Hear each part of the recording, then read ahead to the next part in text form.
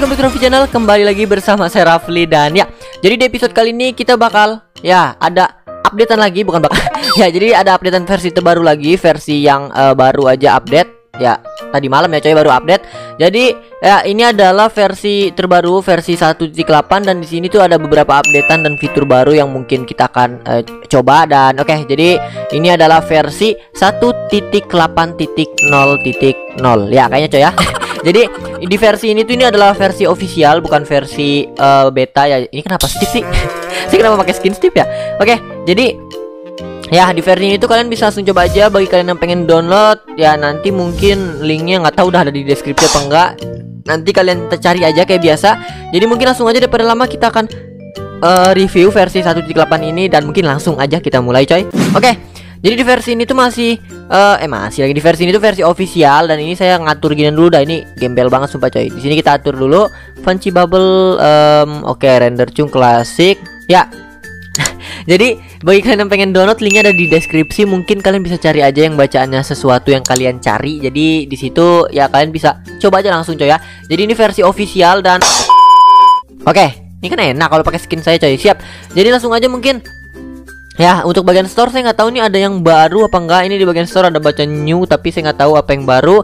Dan oke okay, siap. Lord of Fire and Ice. Oke, okay, sip. Bodo amat ya. Jadi ngapain kita ngeliat ke store lah. Jadi pokoknya di versi ini tuh ada beberapa fitur sebenarnya banyak yang baru cuman saya nggak bisa bahas semuanya juga. Jadi kalian bisa langsung aja cek di Cenglok nanti di uh, deskripsi Cengloknya. Dan ini kita akan coba buat map aja. Bentar. Oke. Okay.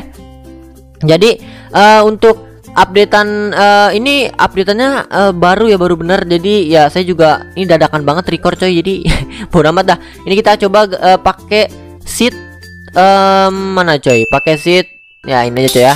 Mantap situ begitu dah. Jadi pokoknya bagi kalian yang pengen download sekali lagi ada di deskripsi kalian cari aja tersembunyi ya, ya. jadi uh, begitulah. Jadi mungkin durasinya itu 1 sampai tiga hari nanti saya akan hapus kalau misalnya udah pada download gitu. Jadi ya udah jadi kurang lebih kayak gitulah ya.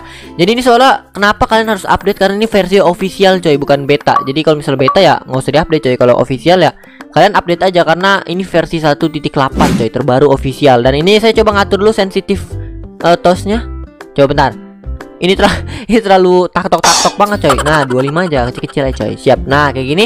Dan apa aja yang baru di versi ini nanti? Ya bentar aja. Jadi saya jelasin singkat aja. Jadi banyak banget. Pokoknya uh, yang baru fiturnya kayak tentang uh, kucing ya. Kucing uh, pentem takut kucing gitu. Jadi pentem takut kucing ya pokoknya. Uh, kayak semacam kayak gitu. Ada. Ya, kita akan coba dulu ke bagian itemnya. Jadi kan yang kemarin itu di versi 1.9 kan ada item yang itu ya. Uh, apa? Oke, belum ada. Jadi yang item bar barrier apa sih barrier lagi? Apa sih item yang kayak itu tuh? Ya pokoknya yang ada beberapa blok yang nggak berfungsi nggak tahu berfungsi apa kagak lah. Jadi itu ada uh, ya itu belum ada cuy ya. Jadi di sini belum ada di versi 1.8 itu belum ada yang blok uh, itu. Banyak banget yang beberapa blok item baru di versi 1.9 dan ini mungkin crossbow cuy jadi di updateannya itu ada use experimental gameplay crossbow uh, apa ya? Mungkin up jadi lebih cepat gitu apa reloadnya atau uh, speednya atau apa gitu. Jadi ya kalian bisa cek cengloknya nanti di deskripsi. Soalnya itu lengkap cuy ya. Kalian bisa lihat apa aja yang terbaru Oke, jadi di sini kita akan coba pakai multi shot dulu. Coba ya kita coba dulu. Uh, jadi uh, di updateannya tuh dibacanya ada bacaan uh, crossbow ya bla bla bla bla bla lah pokoknya. ya udah di sini crossbow. Habis itu um, ya gue gini anjir. Bentar. Ini crossbow udah kayak gini ya. Siap. Jadi ini di sini ada multi shot sama quick quick charge, ya, quick charge ya pokoknya ada multi shot nah itu kayaknya lebih ini coy lebih tajam. Ada bacanya lebih tajam ya. Bodo amat lah pokoknya uh, lebih tajam dan ya ya begitulah pokoknya lebih cepat ya. Jadi bagi kalian yang pengen coba langsung aja coba ini uh, versi 1.8 official dari Mojang pokoknya nice. Ya dan ini saya akan coba untuk yang saya bilang tadi. Jadi uh, Phantom itu nggak bakal uh, Phantom itu takut sama kucing ya? Nggak tahu bilang takut apa apa ya? Pokoknya Phantom itu kalau di atas di bawah ada kucing dia nggak bakal nungkik nyerang kita. Jadi kalau misalnya kita malam-malam itu kita cukup deket kucing aja coy ini ya. Saya tes coba ya. Oke ini kita terangin dulu aja ya terlalu gelap coy. Bentar. Jadi uh, ada jadi ini solusi yang paling ini banget apa yang paling uh, mungkin kalian harus tahu banget kalau misalnya survival udah ada 1.8 ini sebenarnya sini udah bi bisa buat survival 1.8 coy. Jadi kalau misalnya phantom kita nggak usah takut nggak usah lari nggak usah masuk rumah kita tinggal deket kucing aja kita merah kucing. Auto kabur coy phantomnya oke ini saya akan coba tes di sini udah banyak phantom. Sekarang kita akan spawn kucing tapi sebelum spawn kucing kita ke game mode S. Eh ya oke okay, sip Coba ya kita akan. Eh, eh kok nggak keluar? Eh, what what what? eh ini kenapa jadi hilang anjir? Oke. Okay. Ah, aduh, eh kocak-kocak. Ah, mati nih Mas As. Eh, tadi sebenarnya itu saya pengen nge-spawn, nge-spawn kucing cuman nggak keluar. Apa sih? Ya, kucingnya nggak nge-spawn gitu. Jadi ya mati sumpah coy. Jadi uh, ya itu tadi kucingnya nggak nge-spawn. Kok gitu ya? Parah dah sumpah dah. Tadi jadi sebenarnya pengen spawn kucing Jadi pas uh, phantomnya nungkik Dia ada kucing bakal naik lagi nih. Saya coba tes lagi ya Bentar. Oke Ini saya nggak tahu dah kok bisa nggak ngespawn nih Coba kita ngetes lagi dah. Itu sebenarnya tadi uh, phantomnya bisa langsung pada kabur Jadi kalau misalnya ada kucing dia nggak jadi pada nungkik. Bisa jadi pura-pura damai gitu ya. Ntar coba dah. Kalau saya udah nyoba tadi. Uh, Apa pas ya phantomnya nungkik jadi dia kayak pura-pura damai. Jalannya datar nggak apa nggak nyerang gitu coy. Nah itu bisa anjir Tadi pas lagi di momen genting nggak bisa eh, ini ya. Gembel lah dah. Wah, parah parah parah. Oke, jadi kita akan coba lagi ke selan per eh pertama kita coba lagi sekali. Oke, ini saya udah nge-spawn kucing jadi kita akan spawn aja phantom langsung. Tuh, kan? Oke, belum. Ini belum mode survival coy. Jadi kalem ini belum mode survival. Kita mode survivalin dulu.